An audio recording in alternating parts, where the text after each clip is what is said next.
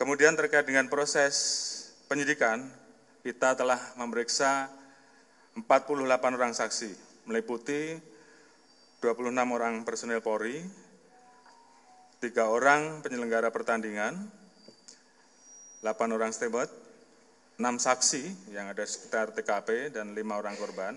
Dan saat ini kita juga terus melakukan eh, pemeriksaan-pemeriksaan tambahan.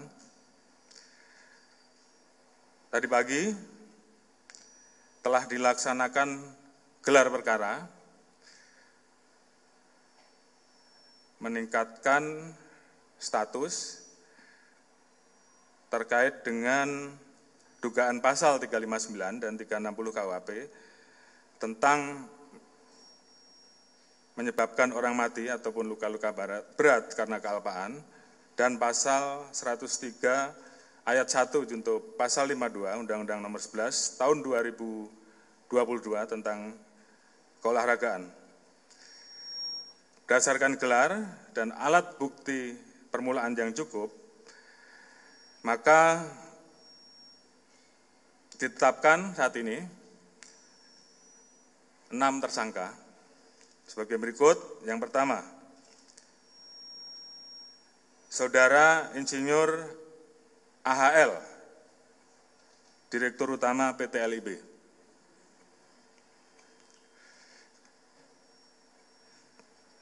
Di mana tadi sudah saya sampaikan, bertanggung jawab untuk memastikan setiap stadion memiliki sertifikasi layak fungsi.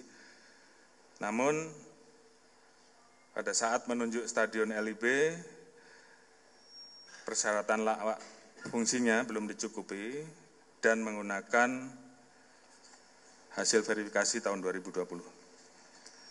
Saudara AH, Ketua Panitia Pelaksana Pertandingan. Pasal sangkaan sama, 359 KWP dan 360. Dan juga pasal 103, junto pasal 52 Undang-Undang RI nomor 11 tahun 2022 tentang keolahragaan, di mana pelaksana dan koordinator penyelenggaraan pertandingan yang bertanggung jawab pada LIB, di situ disebutkan di pasal 3, Panpel bertanggung jawab sepenuhnya terhadap kejadian.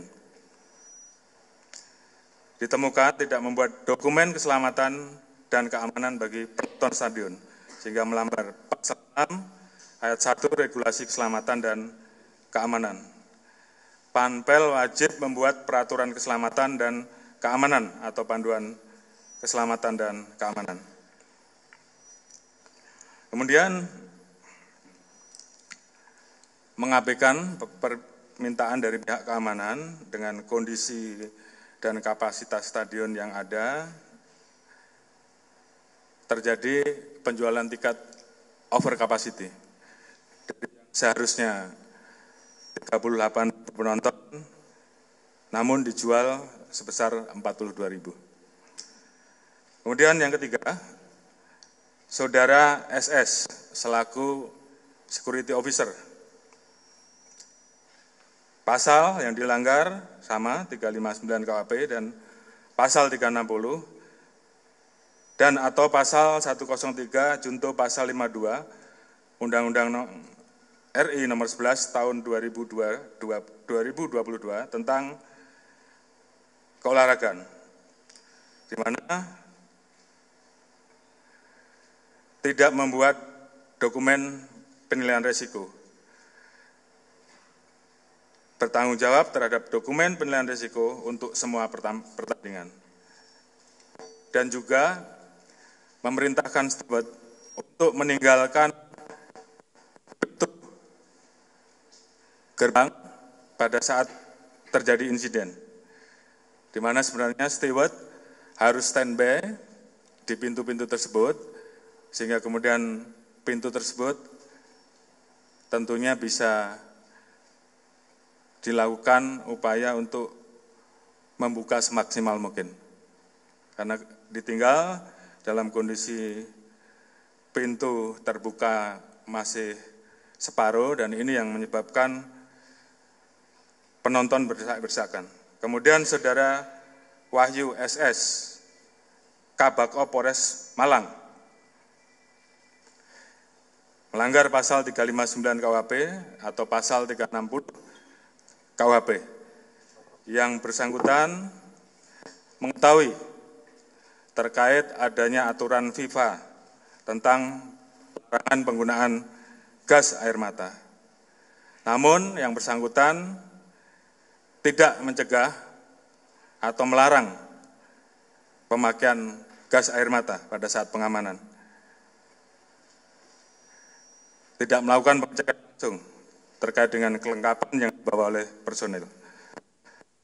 Kemudian saudara H dan ketiga Yon Brimopolda Jatim yang bersangkutan memerintahkan anggotanya untuk melakukan penembakan gas air mata. Saudara BSA, Kasat Samapta Polres Malang,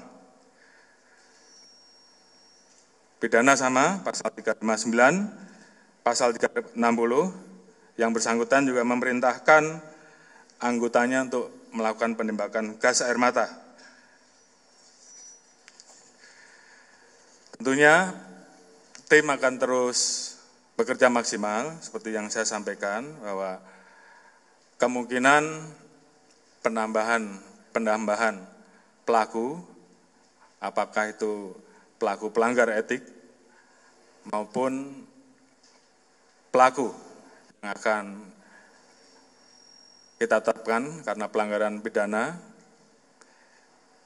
kemungkinan masih bisa bertambah dan tim terus bekerja. Dan kami tentunya akan betul-betul menyelesaikan kasus yang saat ini kita proses, khususnya yang pidana, kami akan segera berkoordinasi dengan Kejaksaan Agung dan Kejaksaan yang ada di wilayah Jawa Timur. Prosesnya bisa berjalan Selanjutnya tentunya kami juga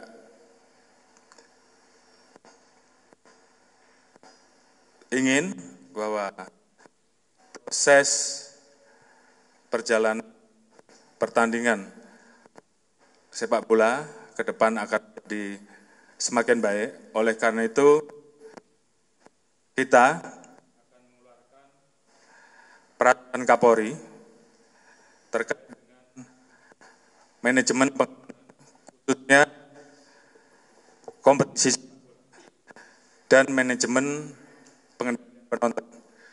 Sehingga kita harapkan ke depan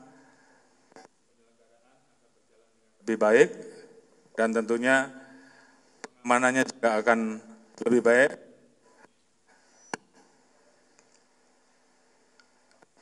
Dunia olahraga sepak bola akan bisa berjalan dengan lancar, aman, apalagi kita akan menghadapi pegelaran, kita akan menjadi tuan rumah dari 23. Tentunya kami juga akan berkoordinasi untuk menyusun aturan-aturan, perbaikan-perbaikan, evaluasi dengan Kemenpora, Ketua Umum PSSI, dan juga pihak-pihak terkait dalam hal ini dari teman-teman perwakilan dan juga para pemilik klub sehingga ke depan kita bisa menyusun memperbaiki manajemen terkait dengan pertanyaan seperti apa yang disampaikan oleh Bapak Presiden, manajemen terkait dengan masalah pengamanan, manajemen terkait keselamatan, baik bagi pemain, ofisial, penonton. Mungkin beberapa hal itu yang bisa saya sampaikan. Tentunya uh, perkembangan lanjut proses yang kami laksanakan tentunya akan uh, kita update. Assalamualaikum warahmatullahi wabarakatuh. Pak Kadimas, kalau nanti ada yang mau ditambahkan, saya persilakan. Saya kira cukup ya untuk uh, penjelasan malam hari ini. Terima kasih pada seluruh rekan-rekan. Saya wassalamualaikum warahmatullahi wabarakatuh.